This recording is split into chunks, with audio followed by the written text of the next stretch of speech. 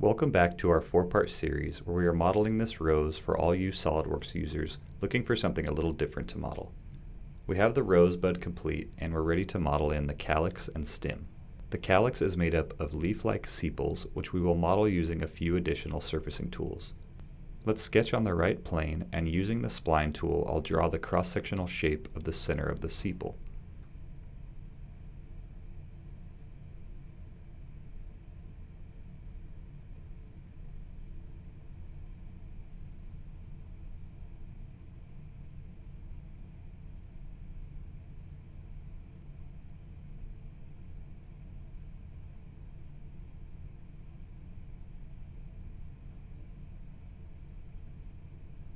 We will use this sketch to create a revolved reference surface, so I'll sketch in a construction center line to revolve around.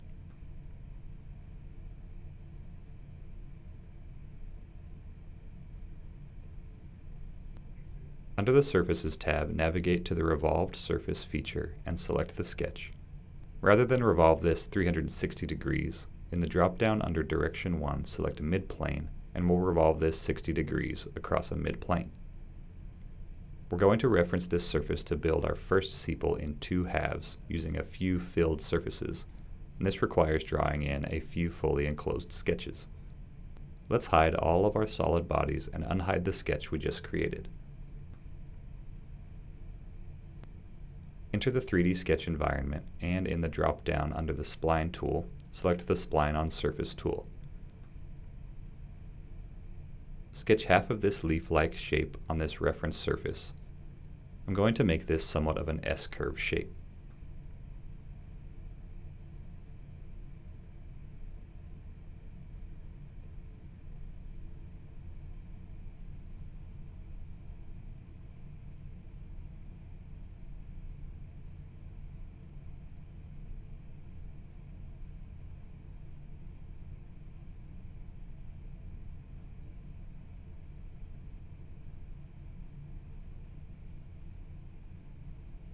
Now repeat this with another 3D sketch for the right half of the sepal. This time I'm going to make it more rounded rather than S-curved to give this some asymmetry.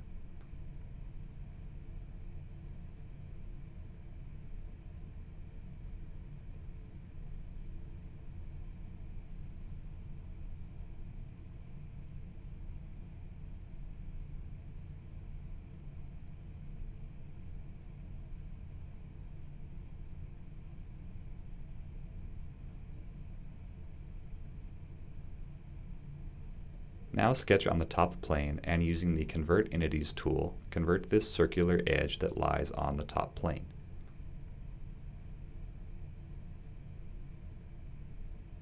Sketch in a few construction lines where the sepal's center line and outer edge intersects this circular edge, and use the Trim tool to trim away the unneeded portions of the curve.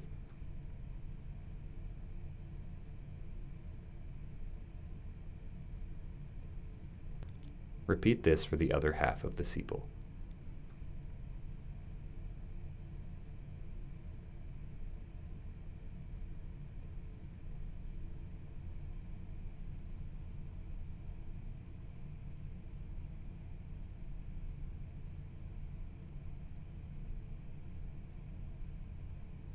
Now we have our leaf-like shape outlined in 3D. Under the Surfaces tab, enter the Filled Surfaces tool and select the three lines that make up one half of the sepal.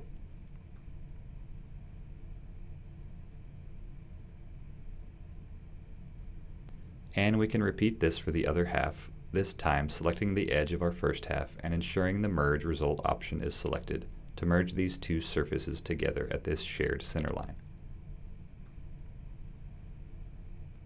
There we have our nice leaf-like shaped surface which we can thicken 0.005 inches in both directions.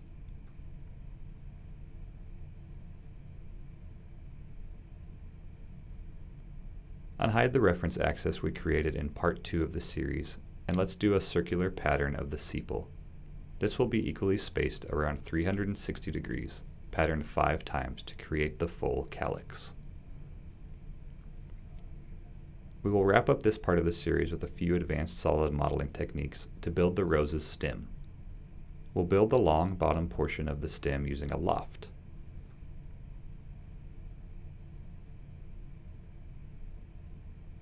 Navigate to Reference Geometry, Plane to create a reference plane, offset 0.625 inches below the top plane.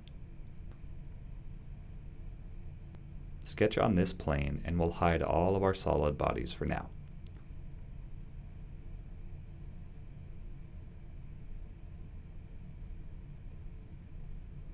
I'll sketch the top profile of the stem with a simple circle, dimensioned a quarter of an inch in diameter, and offset in the x direction from the origin a bit just to maintain a bit of asymmetry.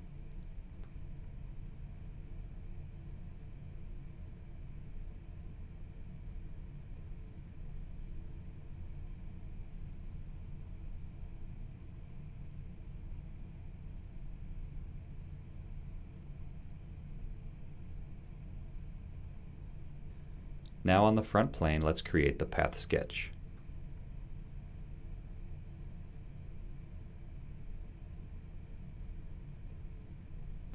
I'll dimension a center line to 10 inches below the origin, and using a few splines I'll create an organic shape to mimic the shape of a typical rose stem.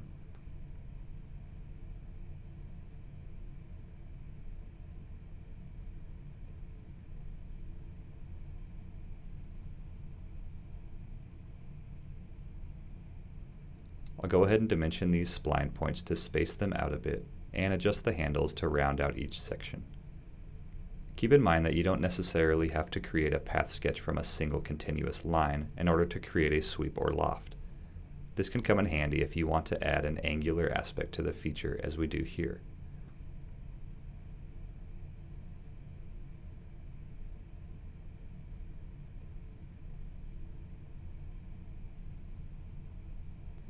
Now to create our other loft profiles, first add a few additional reference planes. I'll create one parallel to our other reference plane at this central point of our path sketch, and I'll create another reference plane intersecting the bottom point of the path sketch. On each plane, sketch a circle whose midpoint lies on the associated sketch point. On this first sketch, I'll dimension the circle to 0.175 inches.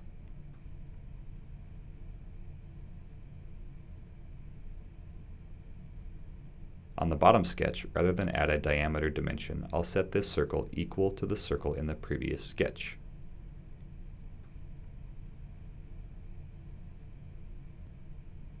I'll hide my reference planes and find the Lofted Boss tool in the Features Command Manager.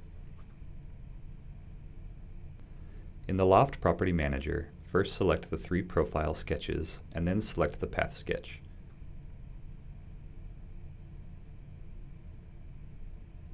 Notice how this loft picks up the sharp edges we built into our path sketch.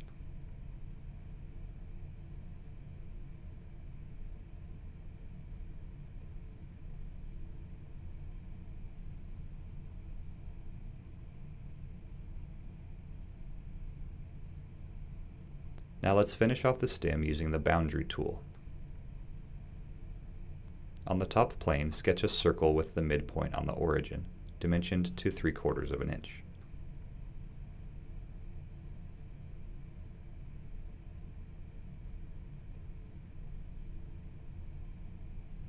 Exit the sketch and in the command manager you'll find boundary boss slash base.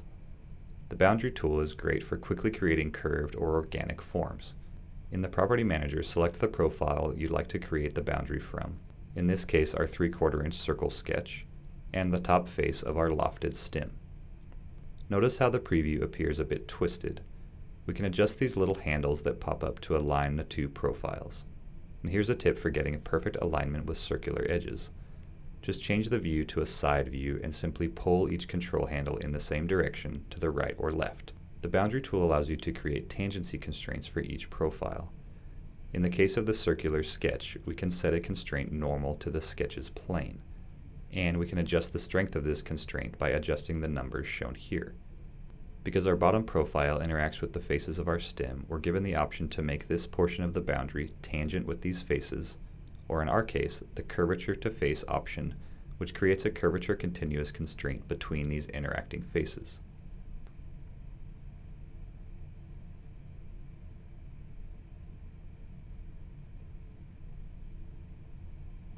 Now we have a nicely blended stem and calyx. In the final part of our series, we will build in some uniquely patterned thorns and add some custom appearances to the model. Stay tuned.